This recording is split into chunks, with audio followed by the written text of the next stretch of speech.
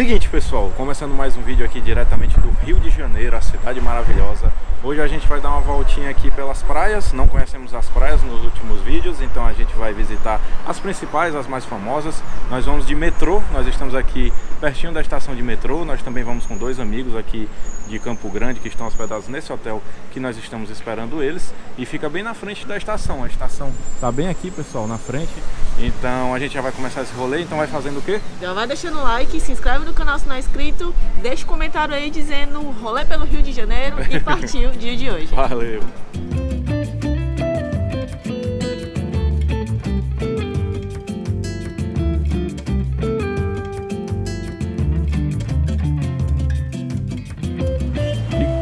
Galera, enquanto a gente está esperando aqui o pessoal, deixa eu só mostrar para vocês o bairro que nós estamos. Nós estamos no bairro do Catete. Na verdade, essa daqui é a Rua do Catete.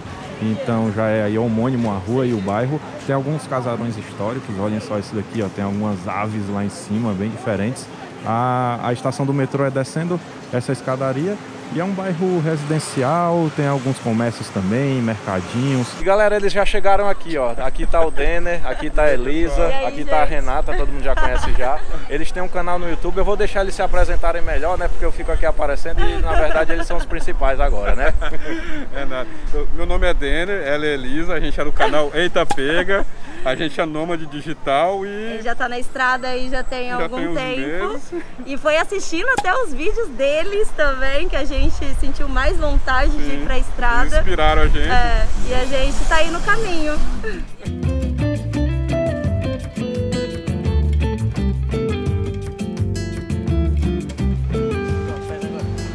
Uma coisa que a gente achou legal é que aceita débito na maquininha. Fora do Isso. Brasil a gente nunca viu. É, é, é, no dinheiro ou só no, no caixinha mesmo que você podia comprar. O cartão não aceitava.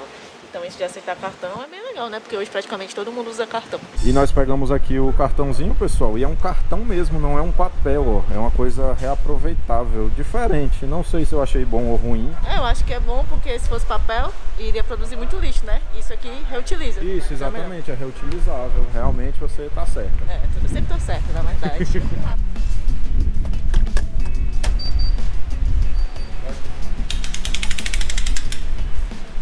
massa, né? e a gente já está aqui esperando, pessoal, o metrô. Ali na, na telinha está dizendo que faltam 4 minutos para ele chegar. E a Elise e o Denner estavam contando que essa faixinha rosa tem um objetivo, e eu não sabia. Sim, é por causa, infelizmente, por causa do assédio das mulheres durante durante a semana, tem um vagão que é só para elas. Das é, 8 da manhã até as 5 até da tarde. É. Elas podem ir nos outros vagões, mas aqui é exclusivo para mulher. E homem não entra, de jeito nenhum. E tem o cara cuidando aqui. Ele não deixa ninguém entrar, nenhum homem. Eu já entrei sem querer, fui... Daí na, é na próxima estação, não, ele me convidou a me retirar na próxima estação, eu troquei de lugar e fui. Sinistro, né? É.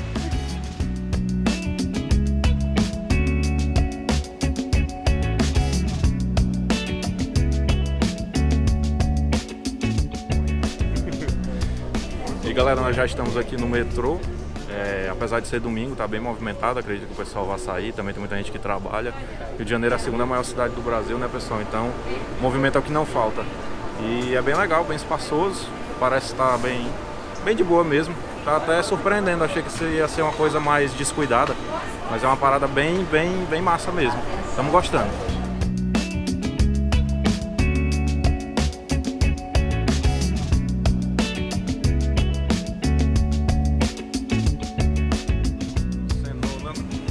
E a gente está dando uma caminhadinha aqui por Copacabana, pessoal, no bairro em si, né? Não chegamos na praia ainda. E parece que você está sempre dentro de uma novela, pessoal. As coisas, né? Parecem aquela cenografia que a gente vê nas novelas da Globo, né? Sempre situadas no Rio de Janeiro, algumas no Rio e São Paulo, mas fica mais guardado na mente a cidade do Rio de Janeiro e esse bairro de Copacabana. E uma curiosidade é que muita gente pensa que Copacabana é o bairro mais caro para se morar aqui no Rio de Janeiro, por conta de ser mais hypado, mais famoso, mas não é, existem bairros muito mais caros. Aqui é uma região cara, não vou mentir para vocês, mas existem lugares ainda mais caros. Então, muita gente pensa isso, mas é só mesmo porque o lugar é muito famoso.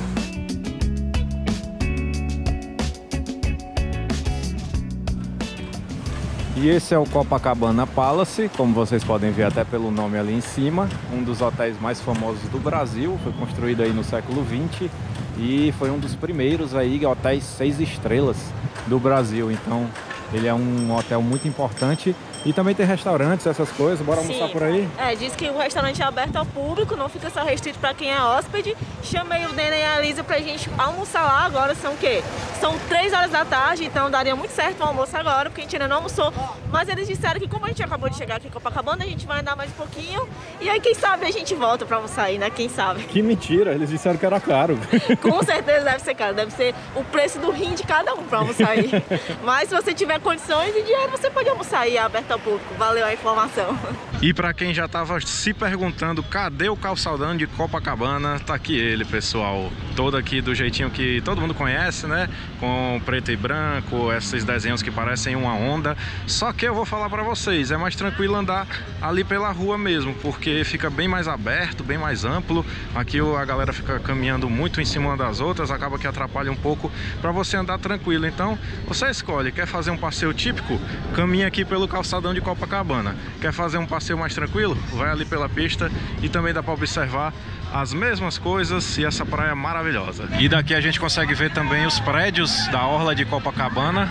A maioria deles são hotéis, pessoal, ou então são apartamentos que foram de moradia e hoje em dia a galera aluga para fazer Airbnb, ficar, né, o pessoal turista ficar hospedado aqui na frente da praia. São muitos, a maioria deles com essa arquitetura mais antiga, mas são bem bonitos, combinam aqui com o cenário de Copacabana. E na orla existem muitos quiosques, pessoal, vendendo todo tipo de coisa que você possa imaginar. Tem alguns que têm mais estrutura, que são meio que fixos, e tem outros do pessoal ambulante, né?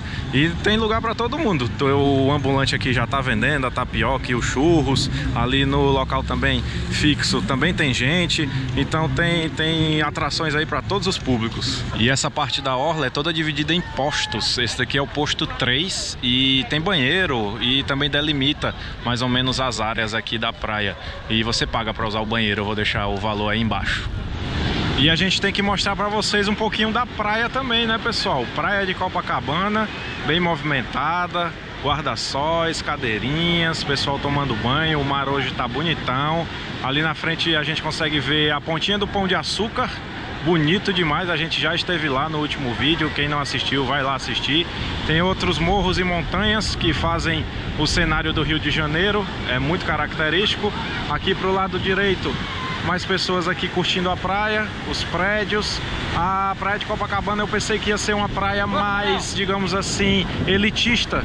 Mas não, tem gente de todos os públicos, de todos os gostos. Existe até um meme bem antigo de uma, de uma moça que estava dando uma entrevista para uma televisão e ela falou que na época, né, que os pobres não deveriam vir até a praia eu venho à praia na Barra porque botaram uns ônibus horrorosos que saem as pessoas completamente horríveis dentro dos ônibus e vão lá sujar a praia.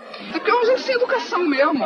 Não pode tirar o pessoal do Meia, do Mangue e levar a praia em Copacabana, cara. Porque não pode, eu não posso conviver com uma pessoa que não tem o mínimo de educação. E aí isso virou um meme hoje em dia, mas antigamente era uma coisa que estava aparecendo na televisão.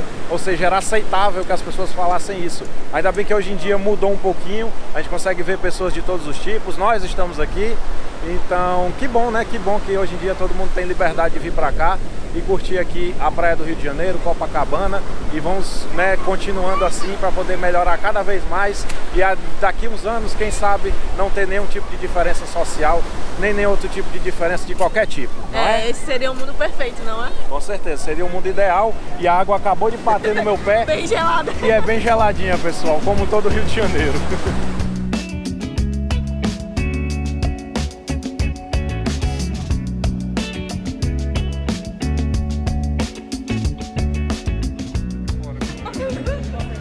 E Renata, como é o nome desse bar?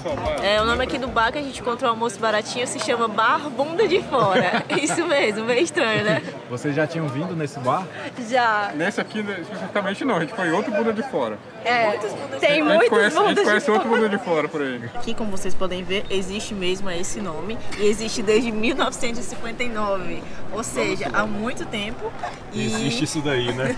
e tá aqui o preço dos petiscos. Ó, tem petiscos a partir de 22 reais ou de 15 reais, que é- são sanduíches, e outras coisas a partir de 22 reais. E o local onde fica o bar é bem interessante. Tá ali a praia de Copacabana, o bar tá bem aqui, fica na parte de baixo desse edifício, edifício Begossi.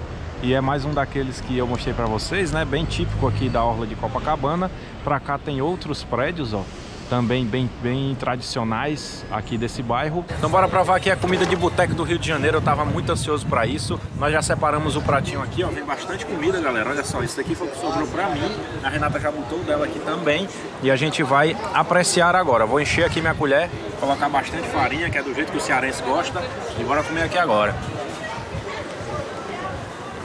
Muito bom, bem temperado. Farofinha sequinha. Bem legal mesmo. Pegar um pedacinho do frango agora. Pegar essa coxinha aqui, ó. Coxinha melar um pouquinho aqui no caldo. Tacar na farinha. Vamos ver se tem tempero, né? O pessoal fala bem das comidas aqui do Rio de Janeiro, né? Dos botecos, bem famosos. Maravilhoso. Bem cozido, tá desfiando na boca. Aprovado. Eu tava com muita vontade de provar comida do Rio de Janeiro assim em boteco. E eu tô surpreendido. Não sabia que era assim. Muito bom. E meus amigos, o almoço estava realmente excelente, mas agora a gente vai ter que apressar o nosso passo, pois já está ficando tarde e nós precisamos ainda dar uma passadinha na famosa praia de Ipanema. O sol já se foi, ele está ali escondidinho atrás daquele morro, o Morro Dois Irmãos, bem famoso aqui do Rio de Janeiro, mas o entardecer está belíssimo, pessoal, belíssimo mesmo. Muita gente aqui na praia, aproveitando, curtindo, vendo também o pôr do sol. Essa aqui é uma das regiões mais movimentadas do Rio de Janeiro nesse horário, justamente para poder acompanhar esse entardecer. E aqui tem uma parte, é tipo um calçadão, também muita gente fica reunida, tem alguns quiosques e aonde o pessoal gosta de ficar mesmo para admirar é naquela pedra. E a gente vai para lá agora, que inclusive Cadê a Elise e o Denner? Não achei. Acho que eles foram na frente. A gente quis mostrar aqui antes pra vocês, porque caso a gente chegasse lá na pedra, poderia não estar esse cenário aqui incrível. Então vocês já viram o sol se pondo. Agora a gente vai ali pra pedra pra poder admirar um pouco mais. E aqui estamos, pessoal, no Arpoador. Pra quem não sabe o que é o Arpoador, é esse conjunto de pedras, onde o pessoal fica reunido aqui, pertinho da praia de Ipanema. A praia de Ipanema está aqui para o meu lado direito, olhem só, essa é a praia de Ipanema, muitos prédios aqui. E aqui no Morro Dois Irmãos, bem no pezinho dele, tem a comunidade do Vidigal. Vocês podem ver ali um conjunto de casas e é uma das vistas mais bonitas a partir de comunidades aqui no Rio de Janeiro. E a gente vai ficar aqui de boinha, admirar esse final do dia. E aqui do o final do dia no Rio de Janeiro, pessoal, é um dos mais bonitos que a gente já viu.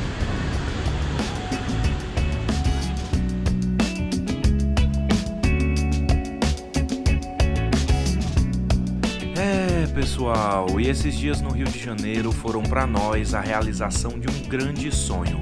E com certeza esses momentos irão ficar guardados para sempre na nossa memória. Mas enfim, no próximo vídeo nós iremos continuar essa jornada pelo Brasil em um novo destino, um novo estado e um novo cenário. Então não esquece de deixar o seu like e de se inscrever no canal para continuar acompanhando essa saga até o sul do Brasil e que em breve será pelo resto do mundo, ok? Até o próximo vídeo, valeu!